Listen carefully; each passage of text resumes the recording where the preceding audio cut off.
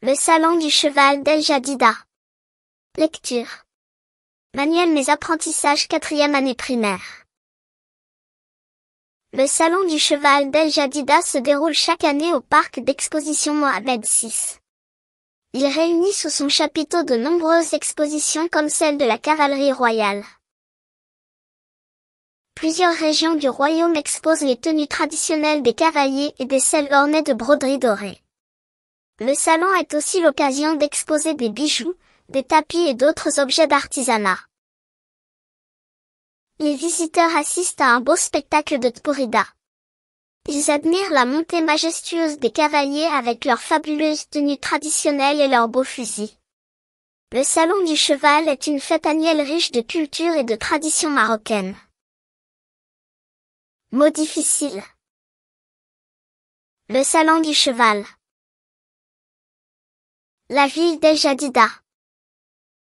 Le parc d'exposition. Chapiteau. La cavalerie royale. Des selles ornées de broderies dorées. Exposé des tapis. Des objets d'artisanat. Un spectacle de Tporida. La montée majestueuse des cavaliers. Beau fusil. Une fête annuelle. J'observe et je découvre. Observe la photo. Que vois-tu? 2. Quel animal est représenté sur cette photo? Réponse. Ah, je vois des chevaux, des hommes avec des fusils, de la fumée et de la poussière. 2. C'est le cheval qui est représenté sur la photo. Je lis et je comprends. 3. Où se déroule le salon du cheval? Coche la bonne réponse. Araba. Al Jadida. 4. Quels objets exposent les régions présentes au salon? Réponse. 3. Le salon du cheval se déroule à El Jadida. 4. Les régions exposent les tenues traditionnelles des cavaliers, des selles ornées, des bijoux, des tapis. Je lis et j'écris. 5. Recopie les noms de deux objets exposés.